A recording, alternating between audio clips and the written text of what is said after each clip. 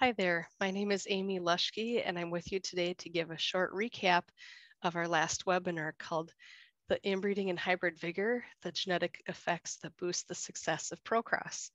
And you can view the full-length version of this webinar on the Procross YouTube channel.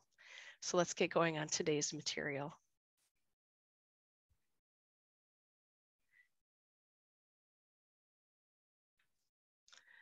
So before I get going exactly on the topic today, I first want to recap a little bit about Procross. Procross is a breeding program where three breeds of sires are rotated on crossbred cows. If you haven't seen my first webinar, Procross the Basics, I suggest starting with that content to learn more about our company and the ideas behind Procross. Procross creates big opportunities for commercial milk production because it joins the effects of using three robustly selected breeds that have a complementary set of strengths, and it also maximizes hybrid vigor. More on this hybrid vigor part later in today's talk. Procross is typically implemented on a Holstein herd and can start with either Viking Red or Montbéliarde uh, to initiate the rotation, then these, this two breed cross is bred to the third breed, in this case, Montbéliarde in this diagram, before returning to Holstein. And then that rotation continues on indefinitely. So for today's topic, first I want to define a couple terms for you that I'm going to be using frequently. Inbreeding depression. Uh, there's a lot of technical definitions for this, but a very simple way to think about inbreeding depression is that it's a reduction in fitness or a function caused by breeding individuals that are related. So in this uh, photo I have presented here, I show that inbreeding depression reduces litter size in golden retrievers, and that's a common phenomena uh, for all animal species is that inbreeding will reduce the number of uh, animals within litters for dogs and pigs and other animals with multiples. Um, it also reduces a lot of other traits uh, for specific things in dairy cattle, which I'll talk about in a minute. The other term that's important to get out of the way here in the, in the first part is hybrid vigor. Hybrid vigor, or sometimes called heterosis, depending on which country you're in, we'll, we'll use one term or the other most commonly. And hybrid vigor can be thought of as the improved or increased function of an offspring over the average of what the parents are producing. So in this photo here, I'm showing you two parents of uh, cherry tomatoes, and each one produces a certain amount of fruit, but you can see when they're crossed in this hybrid offspring, the hybrid vigor comes out, and we get roughly three times as much fruit from that offspring. So a little bit first about the inbreeding part of this, uh, this topic. An inbreeding coefficient is probably the most basic and commonly used way to characterize the degree of inbreeding. And the inbreeding can just be thought of the probability that both copies of the same gene is inherited from uh, a common ancestor, ancestor from both the sire and the dam side of the pedigree as they come together, okay? And so the, the probability part is really kind of uh, counts the number of genes that are coming down from both sides. Um, here I'm showing the inbreeding coefficient for US Holstein females. And in the US and also in Canada, we start with a very early pedigree base. The US starts in 1960, which is why we start with a zero inbreeding coefficient at that time. And the, the line here shows that we've increased um, fairly uh, linearly throughout time. However, we have two chunks of time that did have higher rates of inbreeding, um, both throughout the 90s and then especially in more recent years. So then the actual inbreeding coefficient for this time period in the US is 8.62% for females born in 2020. Actually, if we look ahead into calves born in 2021, that inbreeding coefficient is 9.09%, so quite an increase in just one year.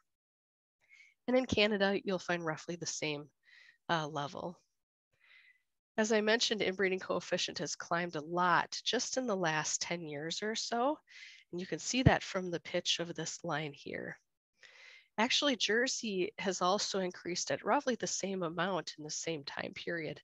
And they're up to 8.44%, for 2020, 8.66% for 2021. Generally in the industry, we tend to think that this is due to uh, the shortening of generation interval brought on by genomic selection within these pure breeds. Now keep in mind that this, uh, this measure of inbreeding coefficient is only amongst the Holstein cows enrolled in milk recording, and that includes about 20% of the US dairy population. Now, the reason I bring this up is because this is a pretty select part of the, the dairy population. Um, these are the cows that are most likely to be using planned matings and most likely to be using inbreeding protection in their matings. So we can really expect the rest of the population to have higher levels of inbreeding coefficient than even this. Um, just for perspective on where this inbreeding coefficient lies, a first cousin mating it results in an inbreeding coefficient of 6.25%. And that's generally thought of as the level in which you'll start to see these negative repercussions of inbreeding depression surface in the populations. And we're quite a ways above that already, two or 3% above that 6.25% level. Now you might think of a percentage trait like this of having a ceiling of 100%, but really that's not the case. Uh, a full SIB mating is a 25% inbreeding coefficient. Sire-daughter mating is the same. And so really we're gonna max this thing out at some, some measure, probably slightly above 25%. But once we get to that level, it could be quite dangerous for these populations. Um, so we don't really want to get up to that those types of levels. We want to keep this all within moderation. Now remember, inbreeding coefficients are a measure of risk. They're not a direct measure of the health of a cow. However, there's strong correlation here because research across the species point to strong relationships between health and fertility complications as these inbreeding levels rise. Let's talk about that a little bit more. There's a lot of research out there that uh, shows the economic penalty when these inbreeding depression levels get high. And for example, this study here I'm showing you on the top here, uh, for every 1% of increase in the Danish, Finnish, and Swedish populations, we see a deduction of about 24.8 euros uh, per 1% increase. And the levels are relatively similar amongst the two US studies that I list here. Most recently, $25 for every 1% increase in the US. So let's apply that to where we are today by just a couple of examples here. In the Nordic example, we can take that $24.80 that I showed you just on the left here per 1% increase and multiply that by 5.45. That's the average inbreeding level today of, uh, of the um, Nordic Holstein, the Viking Holstein. And when we multiply that out, we get a 135 euro lifetime penalty for cows due to inbreeding depression. If we divide that out by the numbers of days that the average Viking Holstein will stay in the herd, we see a daily penalty for inbreeding depression of about 14 cents per day. We can do the same thing with a US example.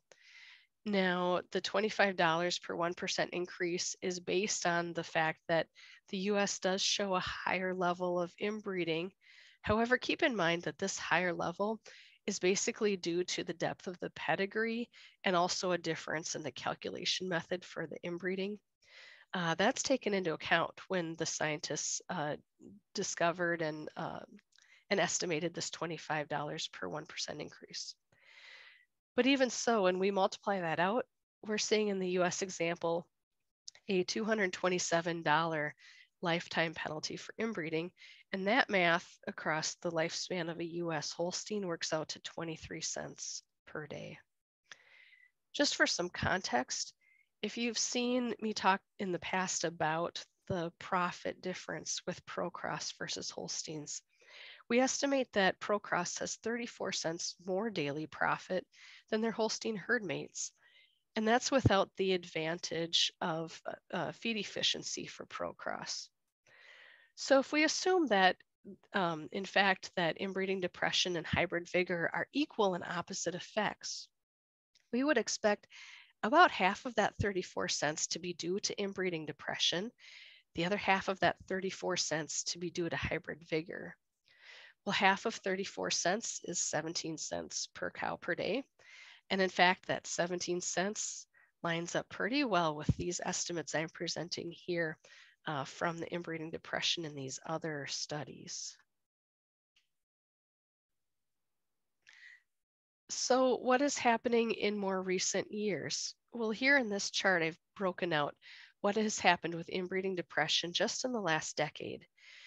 And this inbreeding depression continues to climb, starting at 12% uh, increase, or sorry, 0.12 increase just from 2010 to 2012, but all the way up to about half a percent of increase just in the most recent three years.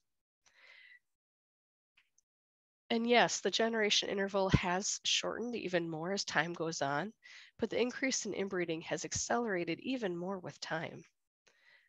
And some geneticists will now ask, will our pace of inbreeding compromise the long-term genetic improvement of cattle? Because remember, as we increase inbreeding, we take genetic variation out of the population. And we might want some of that genetic variation for traits we discover in the future where we don't have the best data recording to capture what's happening in those traits today. And uh, in fact, scientists are now concerned about inbreeding to the level um, that we are meeting on this topic just in three months through an ADSA Discover conference that's happening uh, here in the US. One other point I want to make about this increase in inbreeding, how much is too much? Well, the Food and Agriculture Organization of the United Nations, otherwise called FAO, they're in charge of monitoring and preserving genetic resources for the future of food production. So they advise on risk management of breeding programs. And their scientists have said that a rate of inbreeding above 1% per generation increases the risk that the population in the long run will not survive. So preferably they would prefer to see inbreeding below half a percent for long-term sustainability per generation. Well, based on this chart I'm showing you here, if we consider that the average generation interval is now three and a half years in the US and slightly longer in some other countries, the average inbreeding increase per year should not exceed 0.29 per year, ideally averaging about 0.14 for the US population. Okay, and we're well above that here in, in the last three years. If we want to achieve the half a percent per generation that the FAO recommends for long-term sustainability, the annual increase needs to be around 0.12. And that's currently the level that we're seeing for increase in Sweden and Denmark right now. Um, however, there's still concern there that that could ramp up into the future. So let's shift gears here and talk about why crossbreeding.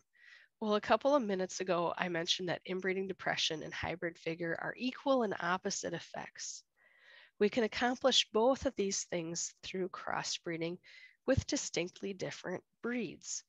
And that's because we limit the effects of inbreeding depression uh, with the crossing of pure breeds, and we take advantage of the hybrid vigor from uh, from using distinctly different breeds when they're crossed at the same time. Generally speaking, we see uh, hybrid vigor from crossbreeding ex expressed at these levels. However, realize that these estimates are now getting a little bit dated. Um, so they could be higher now if we uh, were trying to re-estimate these on current populations. And in the full length recording of this webinar, I give examples with dairy cattle traits on how these percentages would be calculated. So check out that webinar if you're curious where, where these numbers come from. But just know that we expect a bigger response from the traits most related to health and function, that being the fertility, longevity, and cow health. Because these three are so important, it's no surprise then that hybrid vigor for profit is also major in dairy cattle. Now, I did talk in this lecture too about the percentage of maximum hybrid vigor we receive within rotational crossbreeding. Um, when we consider two breed versus three breed versus four breed rotation, these are the percentages by generation. And why is three breed the most ideal? Well, first of all, when we look at what happens in the second generation of the rotation, when you only cross two breeds and you go back to the parent breed in the second generation, we dip down to 50% already. And so that's a big uh, drawback for the two breed cross. They also have a lower level of hybrid vigor overall. In addition to this, we see uh, more hybrid vigor at stabilization for the three breed cross. Yes, we see even more when we move to a four breed, breed cross, but not nearly as much as moving from two breed to three breed. And a disadvantage of a four breed cross is that we also have to uh, inventory a fourth breed and we have to find a fourth breed that really fits the production system well. And a lot of dairy herds have a hard time doing this. Um, so for rotational crossbreeding compared to other types of crossbreeding, we also reviewed terminal crossbreeding and composite crosses.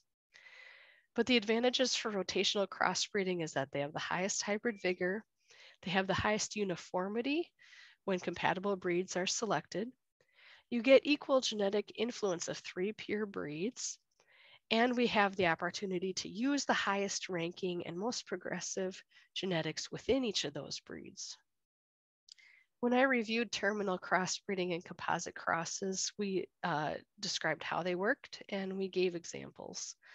But the reason we choose rotational crossbreeding is because it boils down to this idea of maximizing hybrid vigor combined with the opportunity to use the best bulls. And those facets are hard to achieve with both terminal crossbreeding and with a composite cross. So to finish up here today, we went through the main considerations for an optimal crossbreeding plan. In our earlier webinars, we covered these first two points, choosing distinct pure breeds with sizable populations and progressive genetic selection programs. And then in the second webinar, we talked about breeds that are complementary in strengths and weaknesses. Today's webinar covered using three breeds and using them in a rotation to maximize hybrid vigor. These things negate inbreeding depression, and so we get the maximum hybrid vigor for these traits that are so critical for profit. And then in a future webinar, we will cover this last idea I have here. Use only the highest ranking bulls in each breed, and we'll talk more about how to accomplish that. Thank you for listening to the short summary of our webinar, Inbreeding and Hybrid Vigor, Genetic Effects that Boost the Success of Procross. Again, you can find the full length version of this live webinar on our YouTube channel at Procross. And if you have questions on this subject or other ideas around Procross, feel free to send me a personal email. Thank you very much for tuning in.